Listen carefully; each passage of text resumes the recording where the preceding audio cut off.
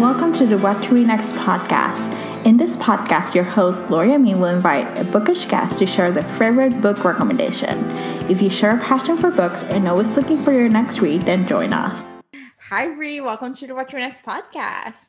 Hey, thank you for having me. So tell us what you've been up to. Um, surviving 2020. Yeah. Uh, I'm in my last two classes for my bachelor's, so that's exciting. And just trying to figure out what my next move is. I've really been wanting to be a history teacher, so I'm like, do I start a teaching program next? Do I just keep like keep going to school and pursue my master's because I have so many options since I'm Mhm. out of the military now. I still have money on my GI Bill that I can use, and I don't want that to go to waste. So it's just trying to figure out like what to do next. Do I go ahead and get the teaching certificate so I can start working, or do I keep going to school so that when I do go to work, I can make more money? Mhm. I'm at a crossroads, but so yeah. what kind of master's degree are you thinking? I'm I really am interested in either library science, regardless, like I'm probably going to have to switch schools because my school only offers like five or six master's degrees, and it's Mhm. really just like education, business, criminal justice, which is Mm. great. I mean, education wouldn't be bad, but then I'm like, do I really want to teach? You know, that's Yeah. like the thing. Like I'm 34 after being a supervisor in the military for so long. I'm like, do I really want to go back to that world of like me and like young people again? I don't know. So it's a lot. it is a lot. So I have a master's in higher education. Um, I got it right after my bachelor's degree, and so I work in the university setting, like just an administrator. And it was fun, and it was it was a great career. I did it for about ten years, and you know I don't regret getting the master's degree. Like I consider going back to school now that I switched careers, but I'm like I don't want to take the GREs. So that's what stopped me from it. You know, I know library science you don't need to take the GRE, so I'm like, maybe I'll go for library science. But yeah, it's one of those things where I'm like, I don't know, do I want to go back to school?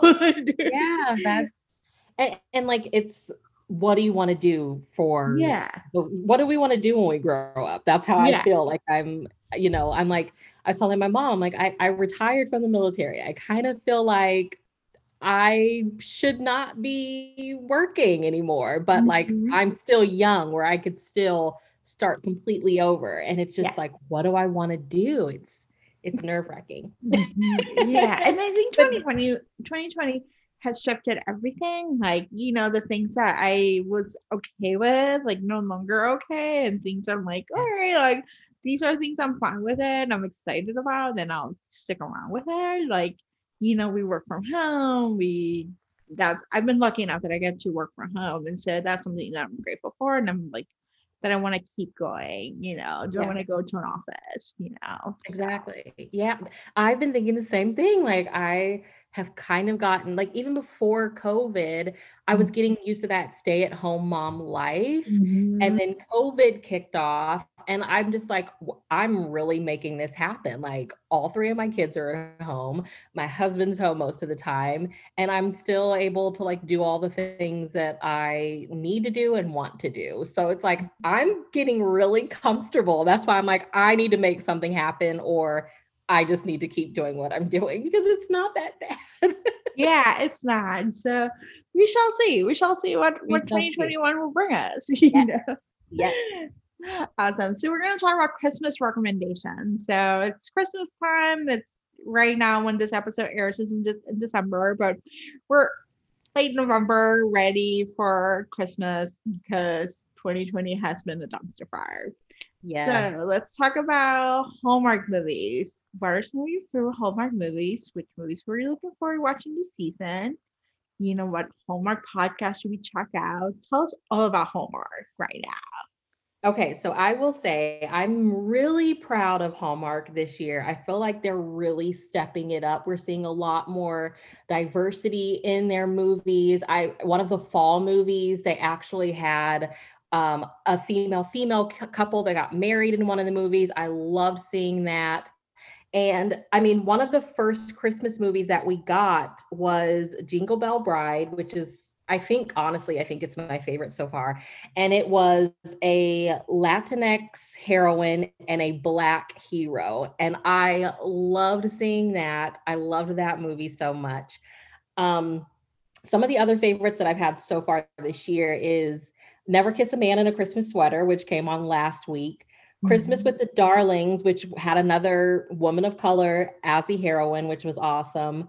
Cranberry Christmas, I loved that one because it was a married couple that had kind of lost their way and seeing them come back together. I think that was a like a first for them. We haven't seen much of that and I I really love the actress Nikki DeLoach who um, played the heroine in that one.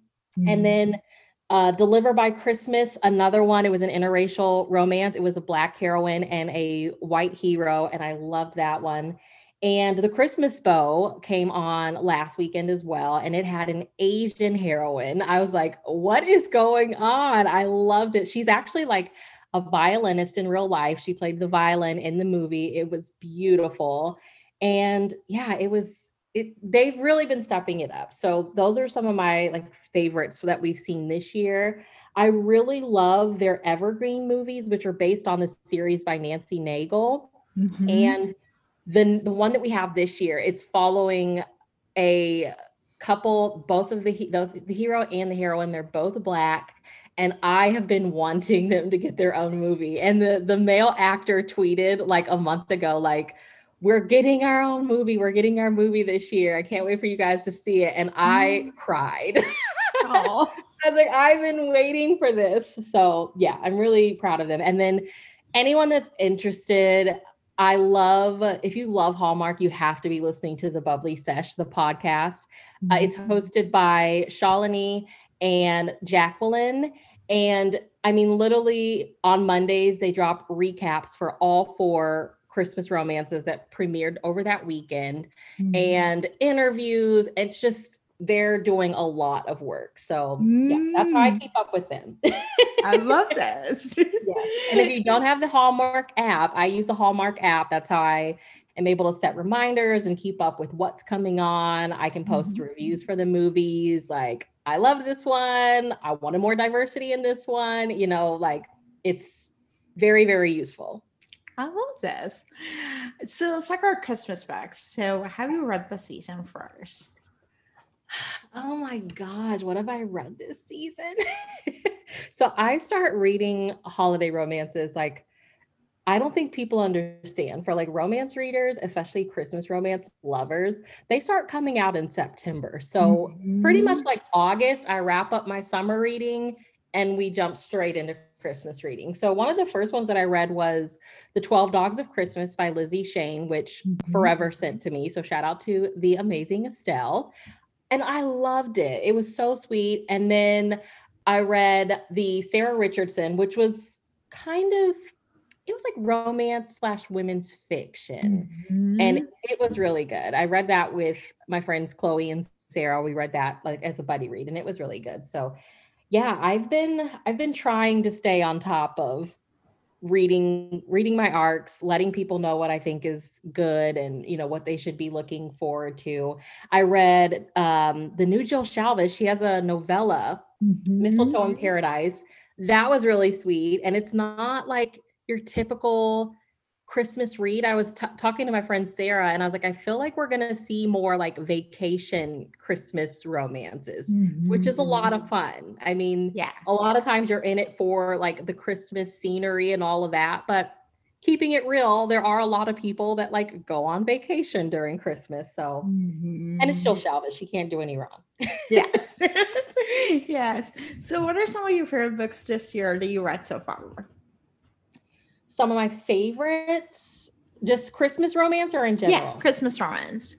okay so one that i recently read was one complicated christmas by mika jolie. This is a black author. I've been wanting to find more holiday romances by black authors. I'm like i know that we're writing holiday romances it's just kindle unlimited makes things really hard to find sometimes and she Mhm. actually has another release that's coming out really soon called Home for Christmas or Coming Home for Christmas. So she's on it. And one one complicated Christmas was a novella, so I'm assuming this one might be as well.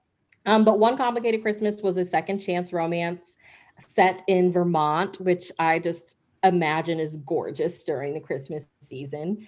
And it was all about like unrequited love. Her writing was beautiful. You could just tell she believes in like people who are meant to be together finding their way back to one another. It was so good.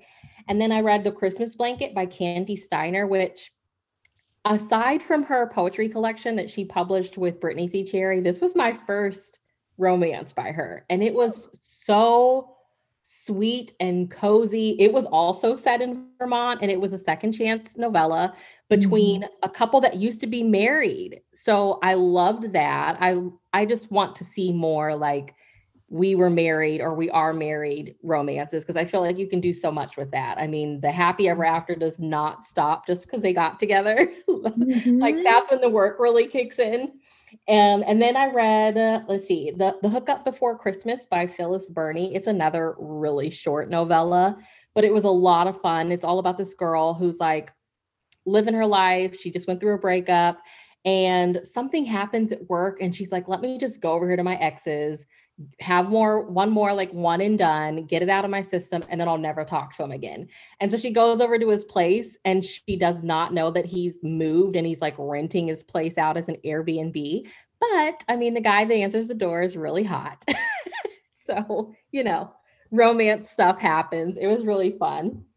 And then i just finished like yesterday morning uh, Christmas Charms by Teri Wilson. I love her. And this is a Hallmark published romance. It was really mm-hmm. sweet, has a little bit of magical realism in it, and I really enjoyed it.